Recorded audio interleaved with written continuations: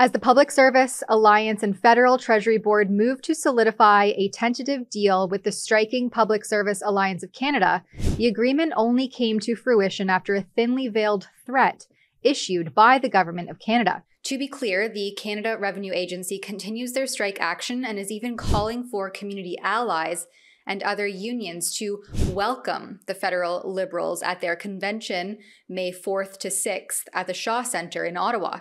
But back to the Public Service Alliance of Canada strike. On April 27th, Public Services and Procurement Canada published a statement that said the Government of Canada would like to clarify information regarding employees' pay in the context of the current labor disruption by the Public Service Alliance of Canada, or PSAC. A statement issued by the Public Services and Procurement Canada stated on April 27th.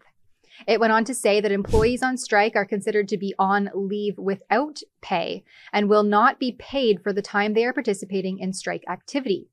Since the strike began on April 19th and the federal public servants are paid two weeks in arrears, employees who choose to strike will see a reduction in pay as early as their May 10th paycheck. The Government of Canada is committed to processing all pay transactions in a timely manner.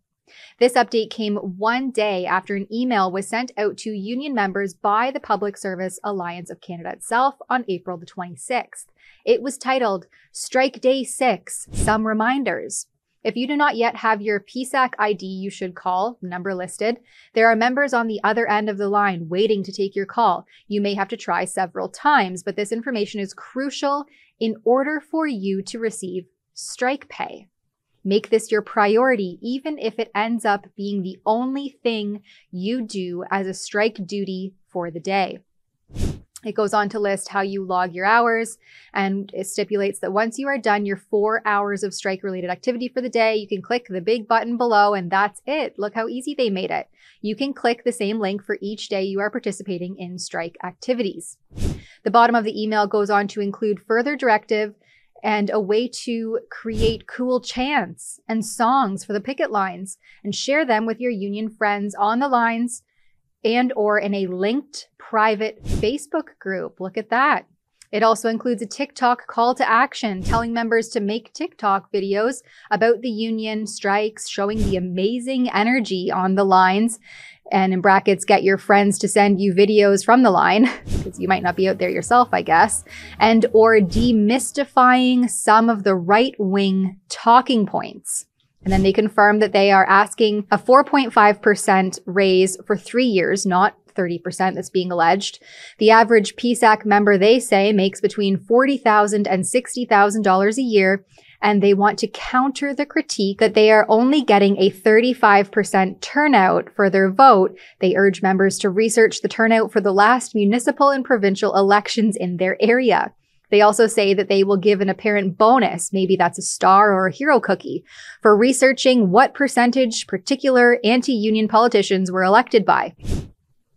But this forty to $60,000 per year is not entirely true. According to the Parliamentary Budget Officer in the April 4th Personnel Expenditure Analysis, the average cost of a full-time federal employee sat at $125,300 per year in 2021 and 2022 which was up 6.6% from the year prior. And that pay increase covers the salary, but also the pension overtime incurred by each individual employee. Furthermore, according to the Treasury Board of Canada Secretariat, the majority of full-time employees in the PSAC union earn between 50 and $70,000 per year, and only 3% of those employees earn under $50,000. And let's never mind the hypocrisy of how the Justin Trudeau Liberals addressed these striking public sector employees versus how the same government treated everyday Canadians who wanted to make their own informed medical choices, as was the case with the trucker convoy that took to the nation's capital in early 2022, which was already pointed out by my colleague Sheila Gunn Reid in a separate video. This public sector union went ahead and they shut down roadways, they blocked bridges, and caused delays, all while in active negotiations with the government. Something Trudeau refused to do with the truckers who wanted vaccine mandates revoked so that they could go on and continue earning an income.